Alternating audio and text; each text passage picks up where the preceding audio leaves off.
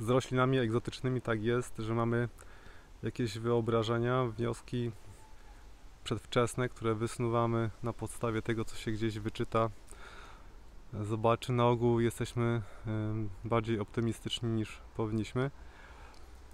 Ale no, czasami jest tak, że chcemy mieć konkretnie tą daną roślinę, czy tego danego bambusa, choć wiemy, że ma małe szanse, żeby się e, u nas uchować. Tak było z moim Moso Nabeshiana, Nabeshimana, czyli w sumie takim świętym gralem wśród e, Moso, który żył, żył, ale niestety mm, padł.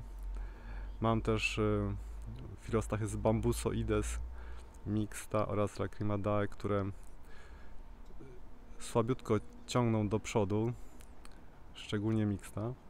A tu przed Wami, czy też przed Tobą, bo to każdy osobno pojedynczo ogląda, jest Philostachys nigra.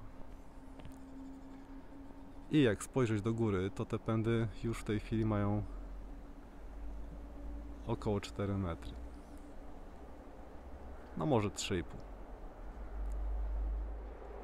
Zaraz pokażę go od tyłu, ale tutaj największy, najgrubszy pęd, który mnie zaskoczył. Taka mniej więcej rośnie u mnie nuda. Taki rósł bisetti, gdy go mam, miałem. Taką w tej chwili mam też e, rubro marginata. No nie mam miarki tutaj, ale bardzo ładny, gruby, gruba tyczka. Bardzo różna od tych ołówków, które rosły do tej pory.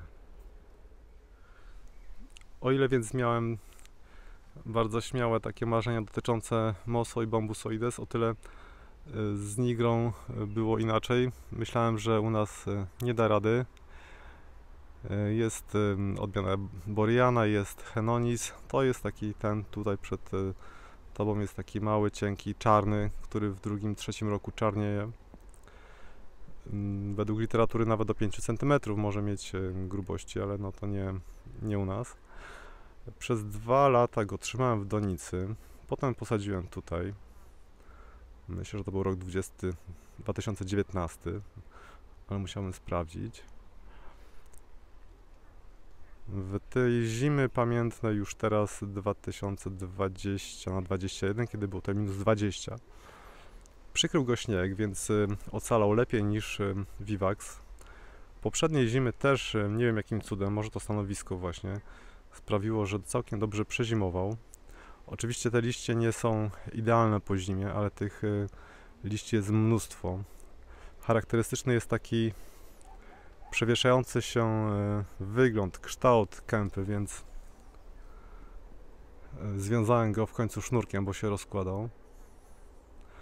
Czego naprawdę unikam, więc to już musiało być ekstremum, bo sznurki na bambusa nie są niczym dobrym. No i w tym roku zaskoczenie. Jest tutaj jakieś 25 do 30 nowych tyczek, mniejszych lub grubszych, ale takich y, ładniejszych są przynajmniej 3. Potem kilkanaście takich y, pisaków.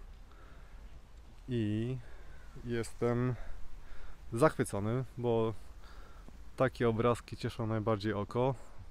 Kępa, która jest przerośnięta liczną grupą nowych pędów, które idą wyżej, żeby wspiąć się ponad te liście, nad którymi muszą wyrosnąć, żeby rozłożyć własne gałązki, a to oznacza też, że bambus żyje i ma się dobrze.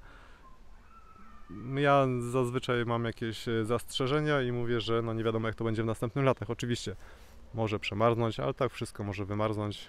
Może wymarznąć palma. Banany w gruncie raczej nie, jeżeli dobrze się je zabezpieczy. Ale z bambusami tej wielkości no już jesteśmy zdani na to, co da nam natura, plus ewentualnie dobre, ciche stanowisko, gdzie nie ma wiatru, gdzie nie ma słońca w czasie mroźnych i słonecznych dni.